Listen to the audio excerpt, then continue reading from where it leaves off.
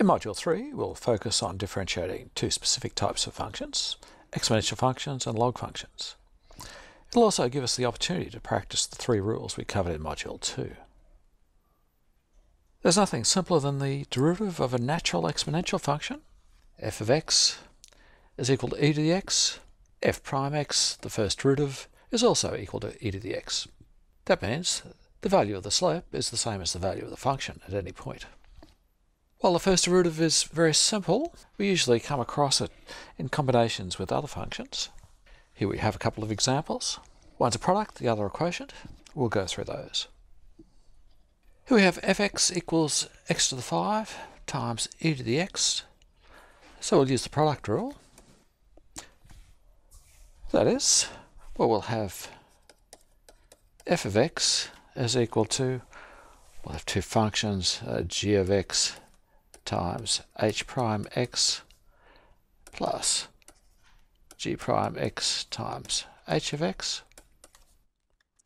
And we'll let g of x equal x to the 5. That implies g prime x is equal to 5 times x to the 4. And we'll let h of x equal e to the x. And that implies h prime x is also equal to e to the x. Then we'll have f prime x is equal to g of x, so x to the 5, times h prime x, so e to the x, plus g prime x, 5 times x to the 4, times e to the x. We can factorize that, e to the x times x to the 5 plus 5 times x to the 4. Our next example uh, uses the quotient rule. Recall f prime x is equal to uh, g prime x times hx minus g of x times h prime x over h of x all squared. We'll let g of x equal e to the x, the numerator, implies that uh, g prime x is equal to e to the x. And h of x is equal to, well, x. And so h prime x is equal to 1. Substituting those values into our formula, we'll have, well, g prime x is equal to e to the x times hx will be x times x minus g of x, again e to the x times h prime x will be 1 over h of x squared, which will be x squared. We can factorise that and simplify. We should always try to do that. So we'll have e to the x times x minus 1 over x squared. While the natural exponential function is quite simple, we often have the case where we have the exponent is itself a function. So we have a function of a function. We'll have f of x is equal to e to the g of x. We can use the chain rule to show that f prime x, the first derivative, is equal to e to the g of x times g prime x. We have a couple of examples. We'll use this first example to work through and show uh, how we apply the chain rule to derive the answer from first principles. In the second example, we'll just apply the rule directly. Here we're going to apply the chain rule. We have, uh, we'll let u of x equal minus x. So du dx is equal to minus 1. Well, that implies that that implies that f of x, well, let's call that y, is equal to e to the u, and so dy du is equal to, well, e to the u. f prime x is equal to dy dx. That will equal dy du times du dx.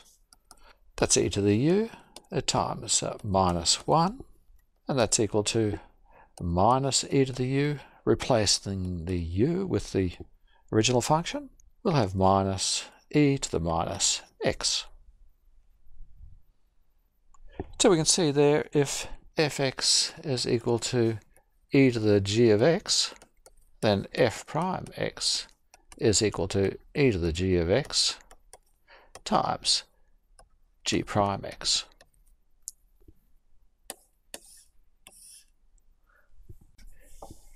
Here we have a function that's a little bit more complicated. We could have that as equal to e to the 2x plus x to the half. So here we have a, a function of a function, and then again, another function of a function. So we have a compound function here. For this part, we'll just apply our rule directly, and for the remainder, we'll apply the chain rule. So let's let that equal y. We'll let u equal e to the 2x plus x, and so that implies that y is equal to u to the half. So dy du is equal to a half u to the minus a half. Now finding du dx, well that's equal to, and this is where we apply our rule, we have g of x there, so we'll have g prime x, if 2x is equal to a g of x, then g prime x will just be equal to 2 times e to the 2x. It's the first term plus 1.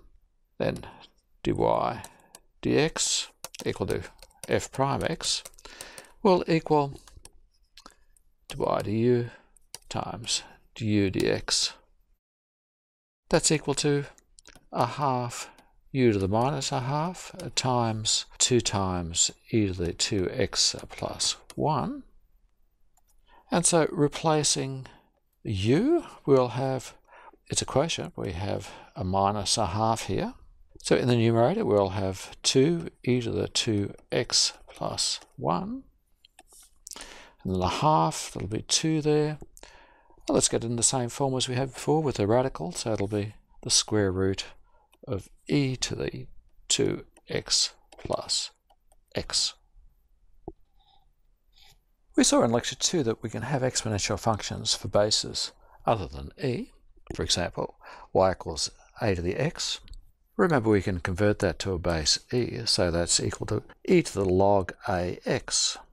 Finding the first root of then is just an extension of our last rule. Log a is just a constant. This is equal to uh, e to the log ax times log a. And so we just convert our e to the log a uh, back to base a. When we have a base other than e, first we convert the function to, a, to base e, then proceed as normal, and at the end convert back to our original base. Let's see how that works using a simple example first, uh, then we'll apply it to something a little bit more complex. f of x is equal to 10 to the minus x that's equal to e to the log uh, 10 minus x. We need to simplify this just one step further, so we'll have e to the minus log 10 times x. So using a rule here, or using the chain rule, we'll have f prime x is equal to minus log 10 e to the minus log 10 x. Well, that's uh, minus log 10 e to the log 10 minus x. And so that's equal to minus log 10, 10 to the minus x, where e to the log 10 is just 10. Here we're going to be using the product rule. We'll let fx equal x, our first term in the product, implies that f prime x is equal to 1. We'll call the second term h of x, and that's equal to uh, 2 to the 3x. And we'll use our new rule here to find h prime x. That's equal to e to the log 2 times 3x. So we'll have h prime x is, well, 3 log 2 times 2 to the 3x. g prime x is equal to f prime x times h of x plus f of x times h prime x. We can substitute in for those values. f prime x is equal to 1 times h of x, uh, 2 to the 3x, plus f of x, x times h prime x, 3 log 2, 2 to the 3x. So that will equal, we can factorise there, 2 to the 3x times 1 plus 3 times log 2x.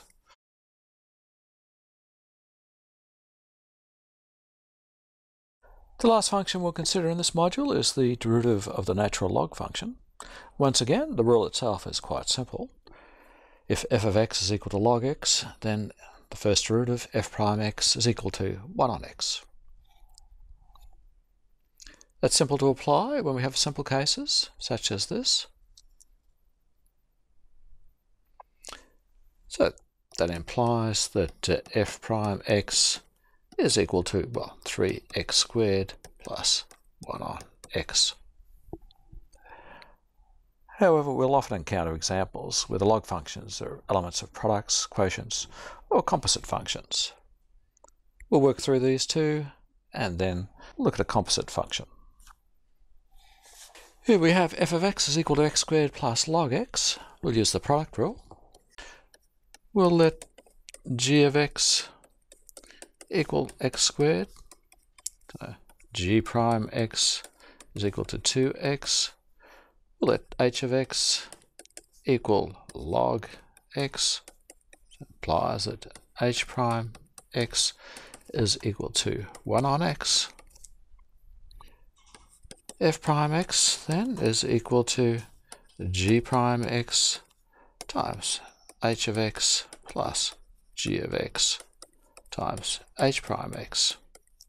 Substituting in there, we'll have 2x times log x plus g of x, x squared times 1 on x. We simplify that. We have 2x times log x plus, well, x. Now we'll use the quotient rule. We'll let g of x equal log x Oh, once again, g prime x is equal to 1 on x. h of x, the denominator will be x. h prime x is equal to, well, 1. f prime x then is equal to g prime x times h of x minus g of x times h prime x over h of x squared Substituting in for those values, we'll have uh, 1 on x times h of x, x minus g of x log x times 1 over x squared. Just simplifying that, we'll have 1 minus log x over x squared. Our last case is where we have a, the log of a function, so we have a function of a function and we apply the chain rule. to where fx is equal to the log of gx, then we can apply the chain rule to show that f prime x is equal to g prime x divided by gx. We'll do that in a moment, and then after that we'll look at two examples. We have f of x is equal to the log of g of x. We'll apply the chain rule. First we'll let fx equal to y to get into a familiar form. We'll let u equal g of x. So du dx is equal to g prime x. y is equal to the log of u. So dy du is equal to, well, 1 on u. f prime x is equal to dy dx. That's equal to dy du times du dx. And that will be equal to 1 on u times g prime x. u is equal to gx, so that will be g prime x on g of x. Let's apply that rule directly. So here we have uh, g x is equal to 4 minus x squared. Well, g prime x will equal minus 2x. So we'll have f prime x is equal to g prime x over g of x. That's equal to minus 2x over 4 minus x squared. You might like to check that we get the same result using the chain rule. Our last example is something a little bit more complicated. Let's look at this first term first. We'll call that the log of g of x, and to find g prime x we'll use the quotient rule.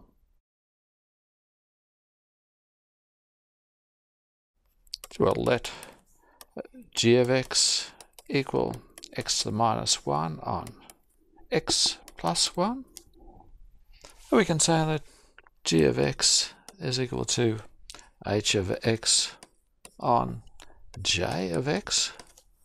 So that then g prime x will equal h prime x times j of x minus h of x times j prime x over j of x all squared. Our quotient rule will have h prime x is equal to, well, h of x is equal to x minus 1, so it'll equal to 1, and j prime x, well, j is equal to x plus 1, j prime x will also equal 1.